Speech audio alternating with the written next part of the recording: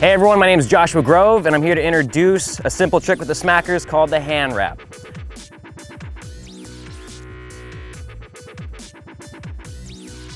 So what I'm gonna do, I'm gonna turn my wrist clockwise and I'm gonna let the balls wrap all the way around my wrist like so.